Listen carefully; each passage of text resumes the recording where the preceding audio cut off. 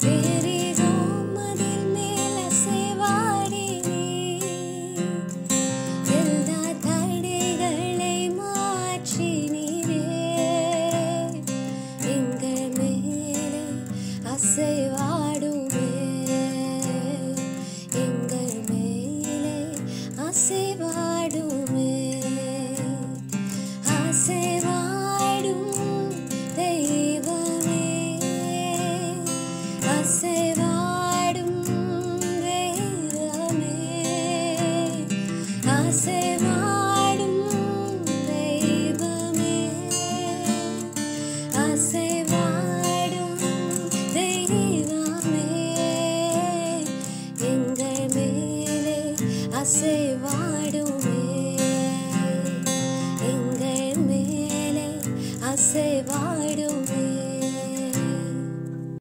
Praise the Lord கர்த்தரும் ரட்சகருமாகிய இயேசு கிறிஸ்துவின் நாமத்தில் உங்கள் யாவருக்கும் என் அன்பின் வாழ்த்துக்கள். ஒரு அருமையான பாடலை கேட்டமாம் தேவனுடைய ஆவியானவர் நம்மில் அசைவாடுகிறவர்.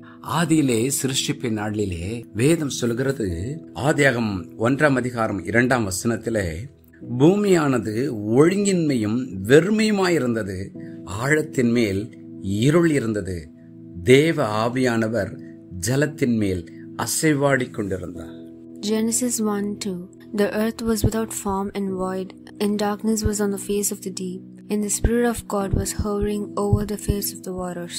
பாருங்கள் தேவன் இந்த முழு பூமியையும் சிருஷ்டிப்பதற்கு முன்பாக அந்த பூமியானது ஒழுங்கின்மையாயிருந்ததாம் வெறுமையாயிருந்ததாம் ஆழத்தில இருள் இருந்ததாம் அப்படி ஒரு சூழ்நிலையில தேவனுடைய ஆவியானவர் ஜலத்தின் மேல் அசைவாடி கொண்டிருந்தாராம் அப்பொழுது தேவனுடைய வார்த்தை வெளிப்படுகிறது.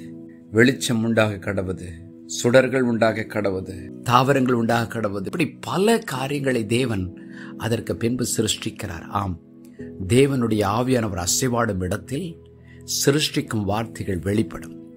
இன்றைக்கு கூட யார் யார் ஆண்டவரே என் மேல் அசைவாடும் என்று சொல்லும் பொழுது நிச்சயமாய் கர்த்தர் அசைவாடுவார். இந்த அசைவாடுகிறதை குறித்து ஒரு பக்தன் இப்படியாய் சொல்கிறார். கோழி தன் முட்டையின் மேல் அசைவாடுவதைப் போல ஆவியானவர் அசைவாடினாராம் ஆம் ஒரு கோழி முட்டையை அதன் தாய்க்கோழி அவையும் காக்கும் பொழுது அதில் ஒரு மகிமையான மறுரூபம் உருமாற்றம் உண்டாகிறது. புதிய திராணி புதிய மகிமை உண்டாகிறதை நம்மால் பார்க்க முடிகிறது. ஆம் அது ஒரு பொருளைப் போல காட்சியடிக்கிற அந்த முட்டைக்குள் இருந்து ஒரு ஜீவன் எழும்புகிறதும் அதற்கு ஒரு அருமையான வடிவம் உண்டாகிறதையும் நம்மால் பார்க்க முடிகிறது. இன்றைக்கு கூட ஐயோ என் வாழ்க்கை ஒழுங்கின்மையாயிருக்கிறது வெறுமையாயிருக்கிறது இருளாயிருக்கிறது எந்த ஒரு காரியம் வடிவம் பெறவில்லை. எதை குறித்தும் நான் நம்புவதற்கு ஒன்றுமில்லை என்று சொல்லி தடுமாற்றத்தோடு இந்த வார்த்தைகளை கேட்டுக்கொண்டிருந்தால் ஆண்டவரை பார்த்து சொல்லுங்கள். ஆதியில ஜலத்தின் மேல் அசைவாடின தேவ ஆவி ஆண்டவரே என் மேலும் அசைவாடும் ஆண்டவரே என் வாழ்க்கையிலும் வடிவம் கொடும் உயிர் கொடும் ஜீவன் கொடும் மறுரூபம் கொடும் மகிமை கொடும் ஆண்டவரே என்று சொல்லி ஜபம் பண்ணும்போது நிச்சயமாய் அவர் அசைவாடுவார். தேவாதி தேவன் ஆவியாய் இருக்கிறார் என்று வேதம் சொல்கிறது அவர் அசைவாடும் பொழுது அவருடைய சிருஷ்டிக்கும் வல்லமை வெளிப்படும். அவர் அசைவாடும் பொழுது தேவன் நம்மை சுமக்கும் வல்லமை வெளிப்படும். பாருங்கள் வேதத்தில் ஒரு அருமையான பகுதி இருக்கிறது.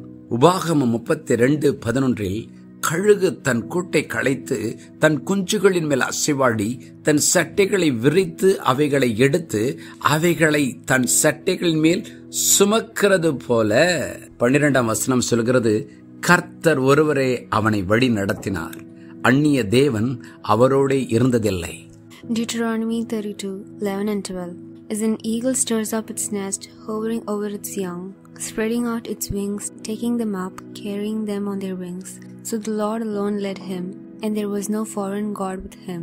பாருங்கள் தேவன் நம்மேல் அசைவாடுவது கழுகு தன் குஞ்சின் மேல் அசைவாடுவதைப் போல ஏனென்றால் அவர் நம்மேல் அசைவாடும் போது அவர் நம்மை சுமந்து செல்வாரா எங்கு சுமந்து செல்வார் தேவன் நமக்கென்று வைத்திருக்கிற ஆசிர்வாதத்துக்கிறாரை சுமந்து செல்வார்.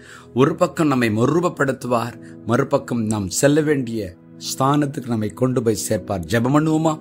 பரலோக பிதாவே இன்றைக்கும் கூட என்னோடு இணைந்து ஜெபிக்கிற தேவ பிள்ளைகளின் வாழ்க்கையில தேவாதி தேவனே நீர் ஆவியாயிருக்கிறீரே அசைவாட வேண்டும் என்று ஜெபிக்கிறோம். நீர் அசைவாடும் பொழுது அண்டவரே மகிமையான காரியங்கள் மறுரூபமாகி சிருஷ்டிக்கப்படும் அல்லவா? இன்றைக்கு கூட என்னோடு இணைந்து ஜெபிக்கிற ஒவ்வொருடைய வாழ்க்கையில் இருக்கிற ஒழுங்கின்மை வெறுமை இருள் மாறுவதாக வெளிச்சம் உண்டாகட்டும் மகிமையான சிருஷ்டிப்பு உண்டாகட்டும். அது மாத்திரமல்ல ராஜா ஒவ்வொருவரும் செல்ல வேண்டிய மகிமையான இடத்திற்கு சென்று சேர நித்திய ஜீவனை சுதந்திரித்துக் கொள்ள ஆசீர்வாதங்களை பெற்றுக்கொள்ள கர்த்தர் கிருபை தாரும். இயேசுவின் நாமத்தில் பிதாவே. ஆமே